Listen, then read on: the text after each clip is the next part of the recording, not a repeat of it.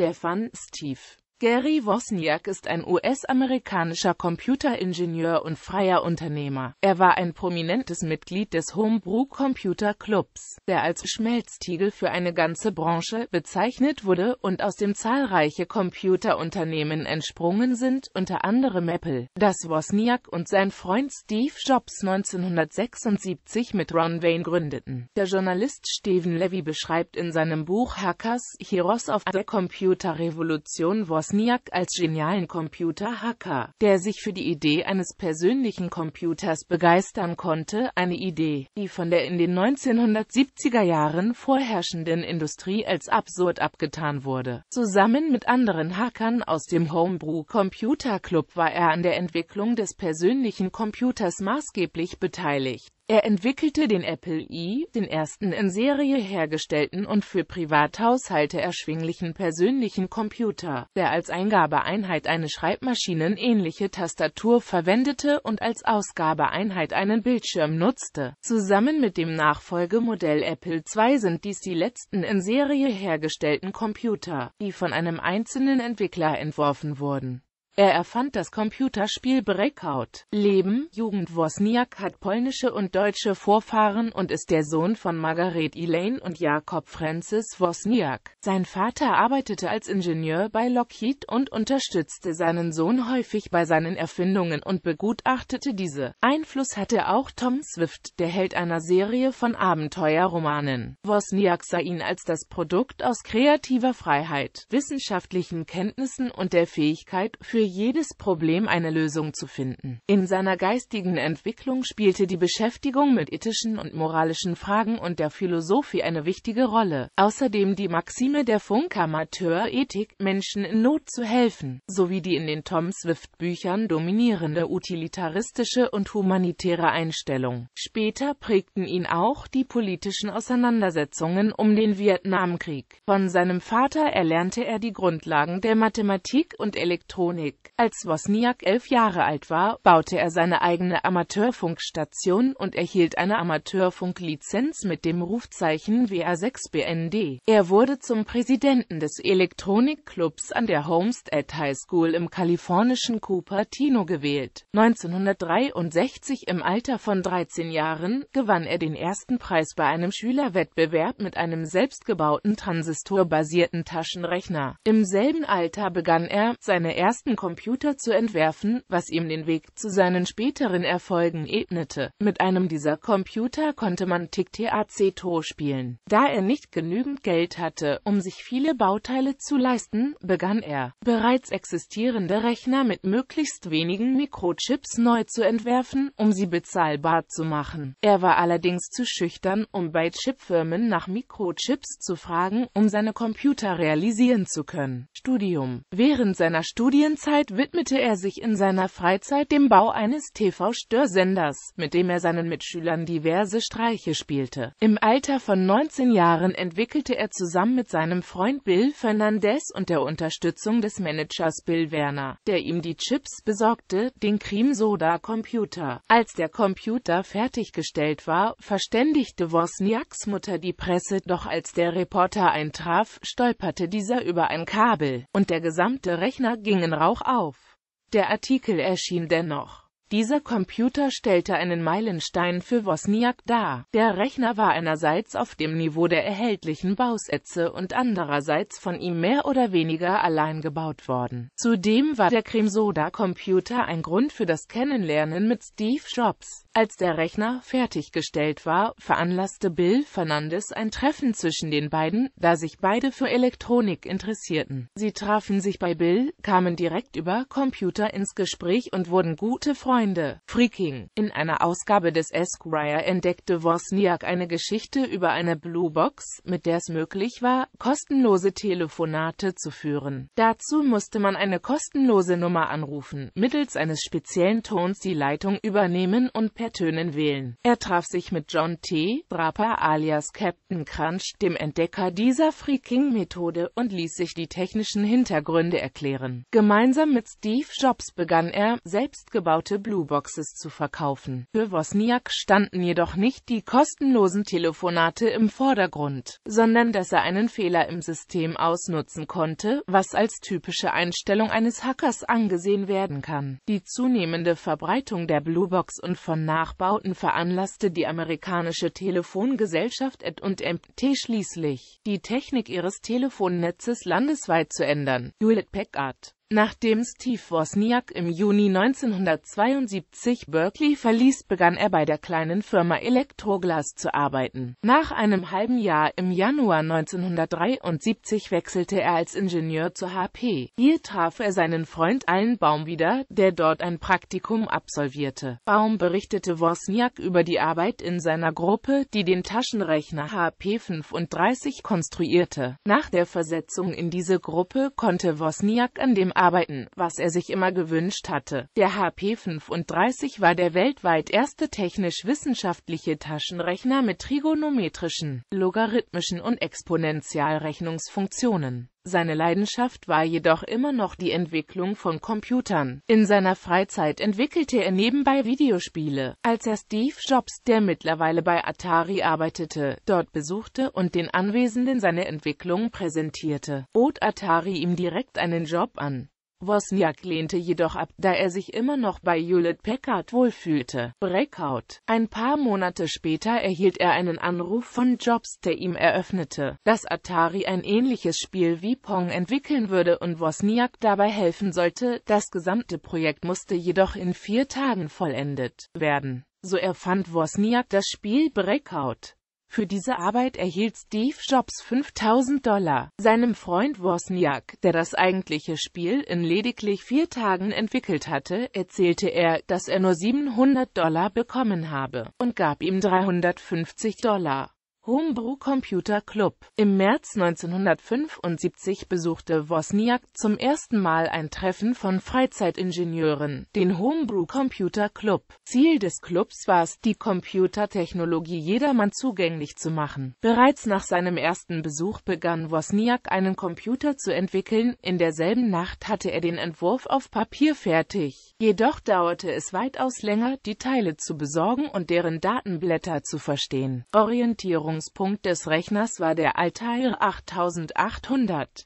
Als er den Rechner fertiggestellt hatte, traute er sich zunächst nicht, den Computer zu präsentieren. Dieser von einer einzelnen Person entwickelte Computer war für seine Zeit eine ingenieurtechnische Meisterleistung. Der Bedienkomfort war der Konkurrenz überlegen, er war der erste Heimcomputer mit einer Schreibmaschinentastatur. Die Konkurrenz, zum Beispiel der Altair, der Anfang 1975 vorgestellt worden war, musste mühsam über Kippschalter gesteuert werden. Der Altair hatte im Auslieferungszustand keinen Monitor, keine Tastatur und keinen richtigen Speicher. Der Apple I war eine vollständig zusammengebaute Hauptplatine, optional auch bereits mit Samt-Tastatur in ein Gehäuse aus Holz eingebaut erhältlich. Mit einem 1MHz-Prozessor auf einem Mainboard mit 4 KB Arbeitsspeicher. Als Speichermedium ließ sich über ein kleines Interface ein handelsüblicher Kassettenrekorder anschließen, so dass Programme nicht nach jedem Start neu eingetippt werden mussten. Apple am 1. April 1976 gründeten Jobs und Wozniak die Apple Computer Company. Für das Startkapital verkaufte Wozniak seinen programmierbaren Taschenrechner Hewlett-Packard HP 65 und Jobs seinen VW Bulli. Für beides zusammen bekamen sie 1300 Dollar. Die ersten Apple I löteten sie in Jobs Garage zusammen. Durch seine Arbeit bei Apple verdiente er mittlerweile mehr als bei seinem Job bei HP. Dennoch wollte er zunächst lieber bei HP bleiben. Dort wurde er jedoch nicht wie gewünscht in die Abteilung zur Entwicklung eines Computers versetzt. Dies und ständige Versuche seitens Steve Jobs überzeugten ihn schließlich, seinen Job bei HP zu verlassen und bei Apple verantwortlich für die Forschung und Entwicklung zu werden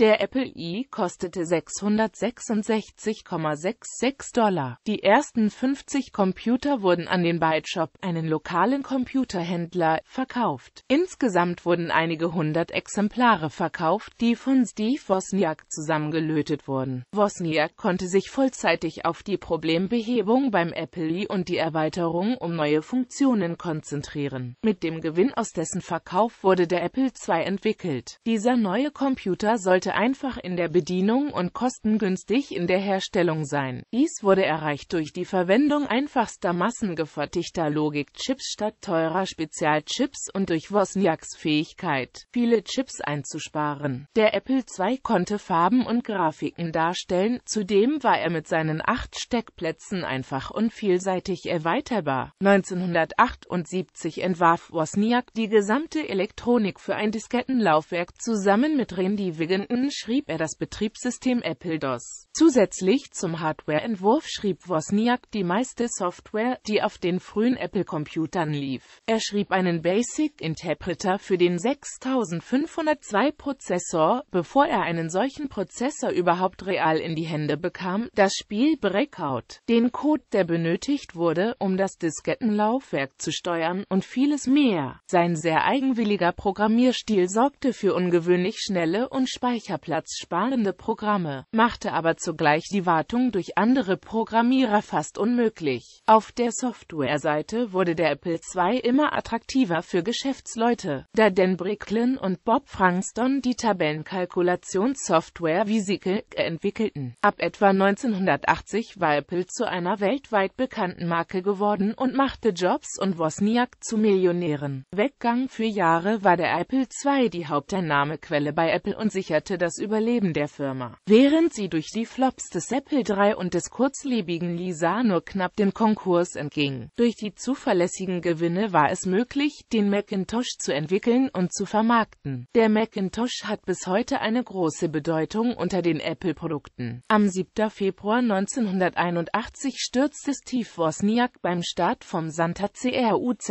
Skypark mit einer Beechcraft-Bonanza ab. Die Ermittlungen ergaben, dass seine Lizenz nicht ausreichend war, ein Flugzeug dieses Typs zu fliegen. Als Folge des Flugzeugabsturzes litt er zeitweise an anterograder Amnesie. Durch den Unfall wurde er in vielerlei Hinsicht aus der Bahn geworfen. Er quälte sich mit Fragen über Sinn und Ziel seines Lebens und fühlte sich ausgebrannt. Er heiratete und kehrte unter dem Namen Rocky Clark zur University of California, Berkeley zurück, um schließlich 1982 seinen Abschluss nachzuholen. Der falsche Name sollte ihm eine gewisse Ruhe und Anonymität bewahren, da sein echter Name bereits sehr bekannt geworden war. 1983 entschied er sich zur Hauptentwicklungsabteilung von Apple zurückzukehren. Jedoch wollte er nur noch ein einfacher Ingenieur und ein motivierender Faktor für die Apple-Belegschaft sein. 1982 und 1983 sponserte er zweimal das US-Festival, das die Entwicklung der Technologien und die Verbindungen zwischen der Musik, dem Computer, dem Fernsehen und den Leuten feierte. Finanziell waren die Festivals Misserfolge, allerdings stellten sie wichtige formative Ereignisse der neuen elektronisch-kreativen Klasse dar, indem sie Computerspieleentwickler, Computerfilmtricktechniker, elektronische Musiker, innovative Fernsehleute und viele andere, bis dahin eher einzeln Arbeitende, zusammenführten. Steve Wozniak zog sich am 6. Februar 1985 teilweise von Apple zurück, ist aber bis heute Mitarbeiter mit einem festen Einkommen. Er wollte mehr Zeit in eine kleinere Firma investieren und gründete neun Jahre nach der Entstehung von Apple die Firma CL9.